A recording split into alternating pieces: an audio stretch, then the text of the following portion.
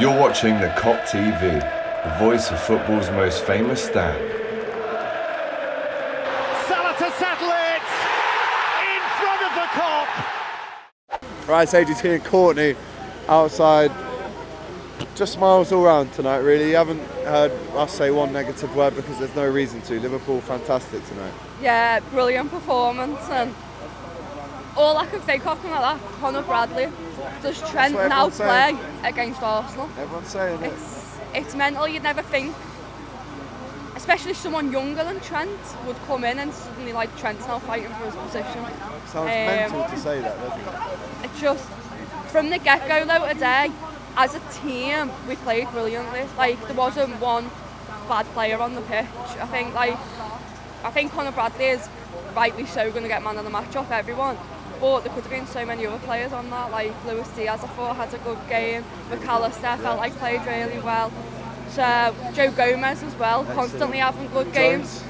Yeah, like there's so many you could name who potentially have man of the match. It's, it's good to see that sort of performance and I feel like I've been saying all season the team's not been talking to each other enough and I feel like it's finally sunk in and they're starting to talk to each other a bit more and we're seeing although we've been getting the points better performances now as well.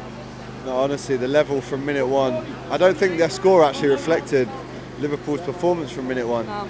I'm not even joking when I say we should and could and, and will on another night score seven goals against Yeah. Chelsea. Knowing that we scored four, could have scored seven tonight, how much more confident are you going into the Carabao Cup final?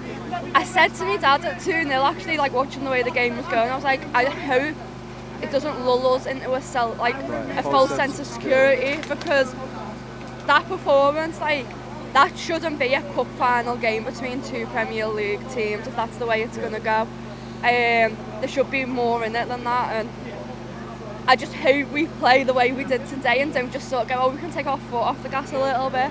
But it's definitely really promising to see that's the difference between the two sides at the minute, and hopefully we go into Wembley with that. Maybe even twice. Court, Yeah. big up, get home safe. We'll see you next time. Thanks for watching this video, guys. I hope you enjoyed it. Please, guys, don't forget to like, comment, and subscribe to the Kop TV. The voice Of of, football's, football's most famous stand. stand.